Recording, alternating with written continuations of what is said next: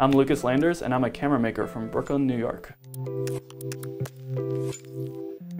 This is my most recent camera, the Landers B35. I've been making cameras for eight years now, I want to say, and basically working my way through camera history more or less, getting to the point where I'm making what I believe is the best camera in the world.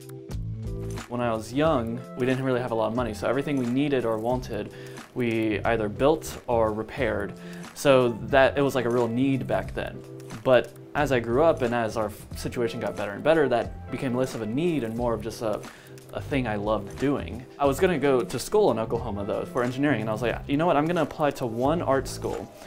And uh, so I Googled best art school, and Pratt was actually number one on the Google results. So I said, I'm gonna apply to one, if I get in, I have to go. So I moved to New York, I'd never been on an airplane before, and I came here all by myself. Art was nothing I'd ever been, I'd never done art before, didn't know what I was doing.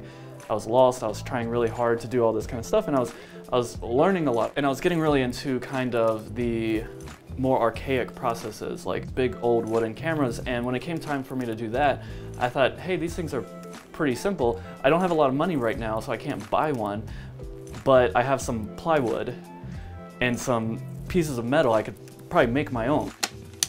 Recently, I've been getting more and more into like CNC metal work. I have a full shop with um, multiple milling machines and lathes and CNCs. Precise and accurate machines uh, is what I'm going for, which is why I got this little guy right here. What I do in the shop with like this machine, for instance, it's very precise and calculated, and everything has to be thought out. But when I, what I make with it is a camera that I can then take out into the world and be very free. Like I just walk down the streets of New York and just take photographs of whatever catches my fancy. When I pick up the camera, it's more of a, it's, it's more of a, an experience of love.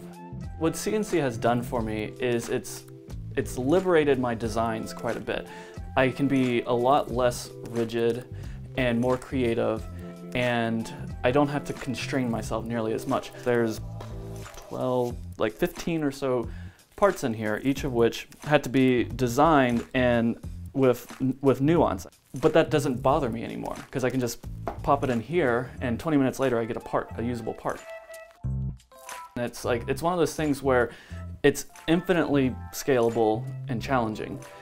You're never, you're, like, I don't think I'm ever gonna run out of things to learn in this field. And so like some people play video games uh, and that's what they do when they get home after work. And I do it because um, for the same reason. It's infinitely scalable and challenging.